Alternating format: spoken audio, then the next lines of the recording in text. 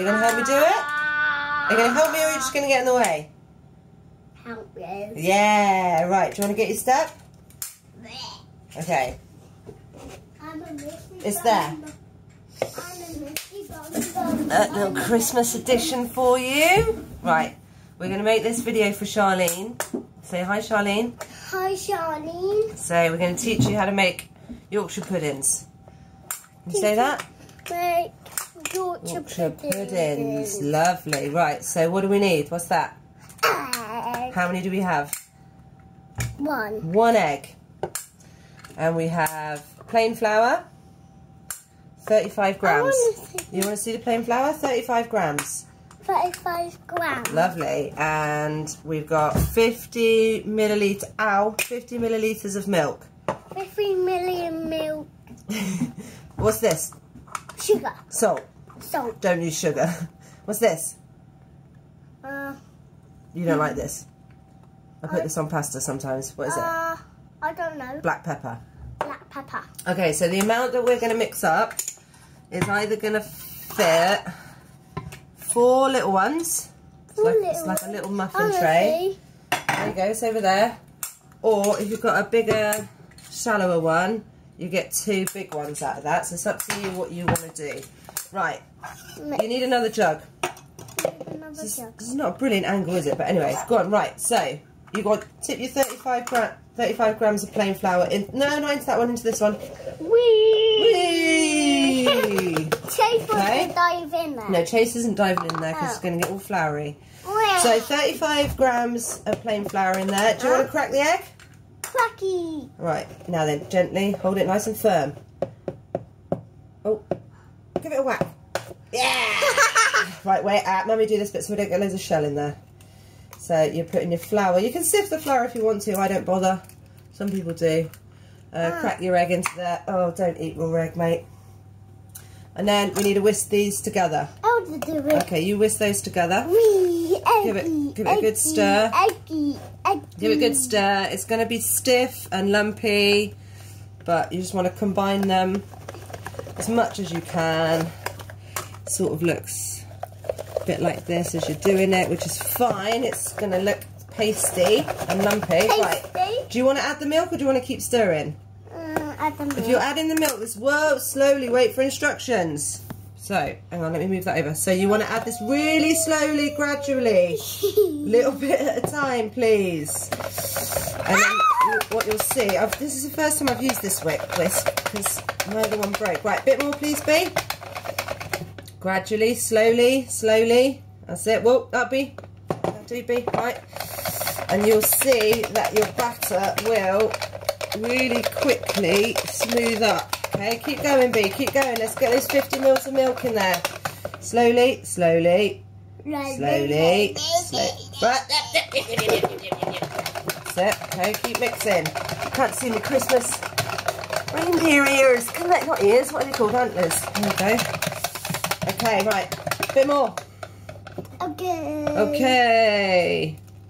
That's it. Keep it coming now. Keep it coming. Keep it coming. Keep it coming. All of it. All of it. All of it. All of it. All of it. Lovely. Right. Thanks. Put that one aside. Okay. So it's quite. It's quite. It's not a thick batter like you would probably want for your pancakes. Um, you want to see. You can season it as much as you want to, basically. I'm gonna do it. You want to do it? I d- oh. It's on my own. That's it. Wait, probably not that much. Right, just show that to the camera. On teeny, teeny, tiny Brecken hands. I'm just going to take a little pinch off of that, and then you, and then I want you to put the put the rest in the jug. That's it. That's it. Oh, we didn't wash your hands. Gross. Um, and again with the pepper, we don't put too much pepper in because Brecken doesn't really like pepper. So, but you can put as much as you like. If you want a really spicy, peppery. Oh, I'm going to lose my camera. If you want a really spicy, peppery Right, sidekick. Want a really spicy, peppery one? No. No, you don't. Then you just add more pepper. All right, that needs to go in the fridge now while you do everything else, okay? The longer you can cool it, the better, because what you want to do is you want a real extreme temperature change when you put your mix, when you put your batter mixture into your hot oil, okay?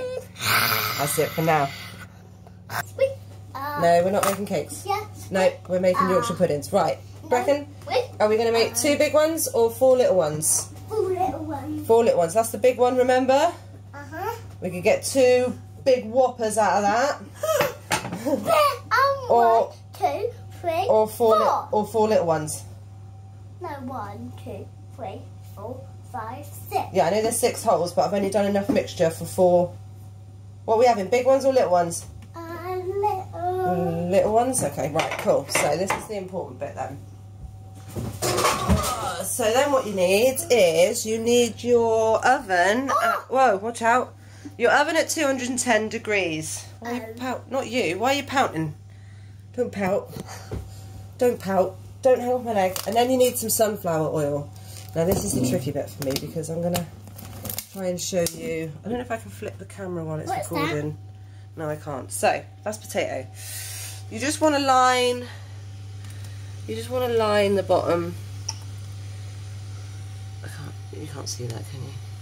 Just want to line the bottom with sunflower oil. It's important that you use sunflower oil and not olive oil. Olive oil won't get to the right temperature. So just line the bottom with three, four. Where's the camera? There it is. Okay, so just don't over oil, all right? And then you just want to whack that in. Watch out then, bud. Let me put that back down there. Watch out then, bud. Then you just want to whack that in your oven to get hot. Because the secret is to have really hot oil. Don't touch that. That's um. And one. No, not the knife though. So 210. Oh, someone sent me a message some- which has messed with my I video. Peel some carrots for me. Well, you can do the carrots. Right. Get your oil nice and hot. Okay, so you've got your um, oil hot in the oven, getting hot. Get this out of the fridge, give it another mix, mix it back up, get it ready. Now, I'm hoping that this is going to sizzle, but it might not. We'll see. Right, Bracken, out of the way, please. Right out of the way. Right out of the way. Over there. All the way over there. That's it. Don't want little boys near hot oil. Okay, so oh, it's looking good. It's a bit smoky.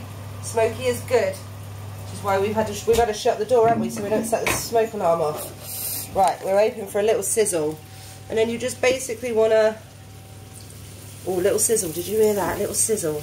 You want to evenly distribute. Whoa! What you doing over here? Hey, evenly distribute, and then they go back in the oven, sizzling away at 210, smoky, smoky, smoky.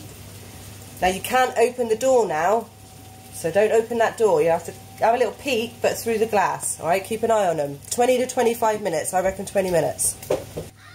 Okay, so these have been in for 18 minutes. My phone's gone really glitchy. Sorry about that, dude. And! That's hot. Done. Enjoy. Let me know how you get on.